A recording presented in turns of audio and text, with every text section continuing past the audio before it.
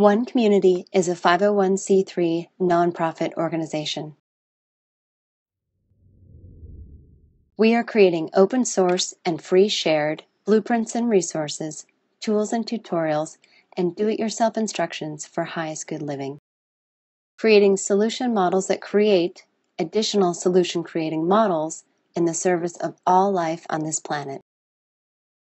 This includes highest good approaches to food, energy, housing, education, for profit and non-profit business creation, society, and true earth stewardship.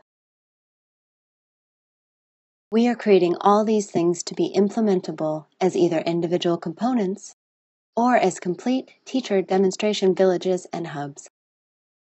One community's approach to highest good education is open source and free shared, designed for all age groups, adaptable to any schooling environment, inspiring and fun for all participants, a learner teacher collaborative, and it includes California state education standards. One community's approach to highest good food is duplicable almost anywhere, scalable for different needs, more biodiverse and nutritious, part of forwarding a global open source botanical garden collaborative, and includes nine different free shared and duplicable growing environments.